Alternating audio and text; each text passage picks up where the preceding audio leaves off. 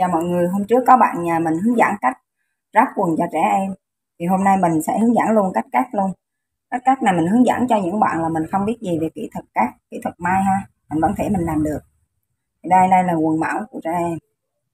Thì hôm nay mình sẽ cắt quần y chang như vậy ha. Thì mọi người sẽ gấp lại. Và mình gì? Đây, mình sẽ gấp y chang như vậy và mình sẽ sang giáo ra. Mình sẽ gấp đôi vải và mình đặt phần quần này lên. Rồi, mình sẽ đặt phần quần này lên. Bây giờ mình sẽ sang giáo phần trên lưng này, trước ha. Tiếp theo tới phần gì phần dưới ống này. Và mình sang giáo luôn đường gì đường ngang đáy này luôn. Và mình sẽ lấy giáo đường gì ngang ống này bao nhiêu mình lấy y chang như vậy. Ngang đáy này nó nằm đây. Và đường trên lưng này thì sao thì mình sẽ kéo phần thun này ra phần lưng này mình sẽ kéo phần lưng này ra. À, mình sẽ kéo phần lưng này ra nó chạm đau thì mình sẽ lấy giáo đó. Mình sẽ lấy giáo ngay chỗ điểm này ha. Nhưng mà thật ra thì quần này nó hơi chặt chị. Mình thấy nó hơi chặt phần lưng. Thun này nó quá nhiều. Nó hơi chặt phần lưng do đó mình sẽ cho rộng hơn một chút xíu. Mình sẽ cho rộng hơn.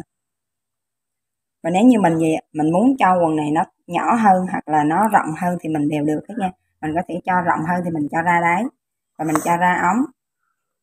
Và mình làm gì nè?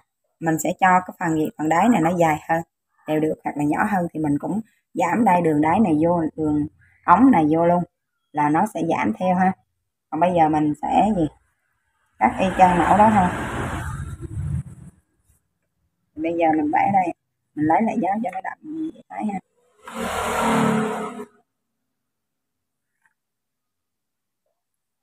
Đây thì mình sẽ gì mình sẽ vẽ vẽ đường đáy nó xiên xuống đây. Xiên xuống đây. Ví dụ đây là bao nhiêu đây là 18 thì mình vẽ đây khoảng là 20 21 thì tùy theo mình nữa ha. Ờ mình sẽ chia ba đoạn này ra. Chia ba đoạn này ra mình vẽ đáy đường này. Để đường đáy cong ra đây.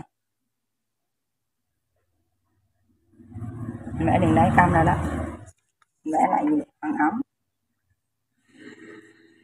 Và mình sẽ, khi mình cắt thì mình sẽ chừa gì? Mình sẽ chừa đường lai quần. Và mình sẽ chừa thêm đường, lưng quần. Vậy là bây giờ mình chỉ có việc cắt nữa là xong ha.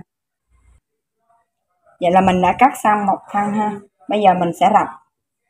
Mình sẽ rập phần này. Lên để mình cắt thân kia.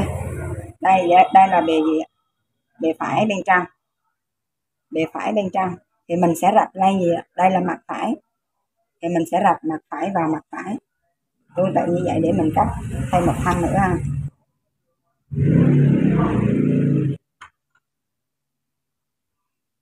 Để mình rạch, mình sẽ cắt thêm một thân nữa.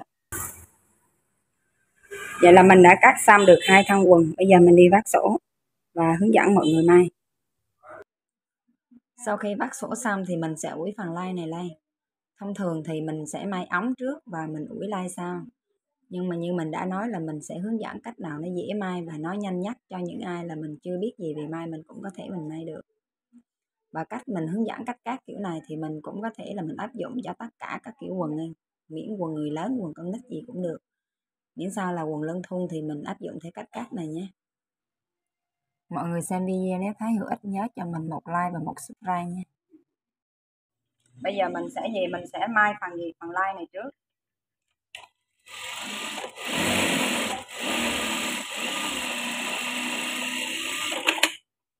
Mình cố tình mình may chỉ màu cam này cho mọi người dễ thấy nha. Còn mình may thì mình sẽ may sẽ may trùng chỉ nó sẽ đẹp hơn. Trùng chỉ màu vàng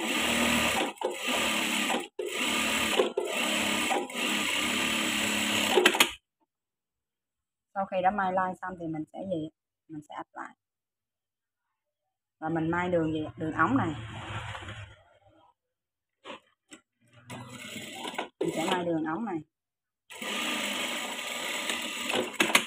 Tương tự là mình sẽ may gì? Mình sẽ may bên kia cũng y chang như vậy. Sau khi mình đã may xong gì hai phần ống quần.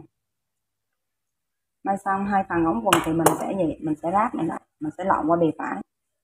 Mình sẽ lộn quần qua bề phải ha quần ra được hai phần quần này nó như thế nào? Nó như thế này bây giờ mình sẽ nhập đường đáy này lại với nhau. Hai đường đáy này lại với nhau. Nhập hai đường đáy này lại với nhau. Và mình sẽ mai. Mình không quen thì mình sẽ mai từ đường đáy này lên. Và tiếp theo mình sẽ mai đường bên kia. Mình sẽ mai đường đáy này lên.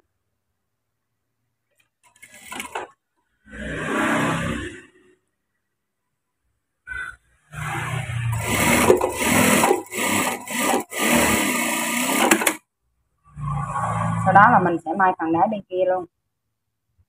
Hoặc là mình may từ phần lưng. Đưa về cái đó đại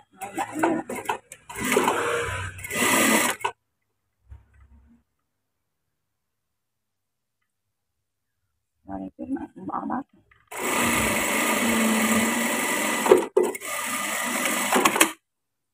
Đây, vậy là mình đã may xong phần đáy trước và đáy sau ha. Ừ mình sẽ thành phần thân quần. Rồi, vậy là mình đã may xong. Phần quần bây giờ tới gì phần lưng quần.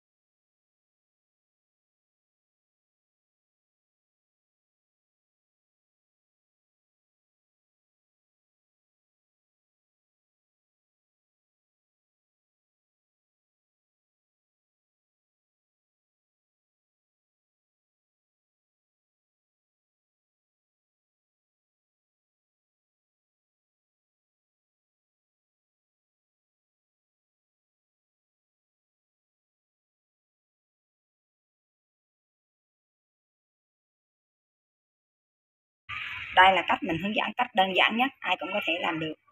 Những bạn là mình mới chưa biết may thì mình cũng có thể mình may được.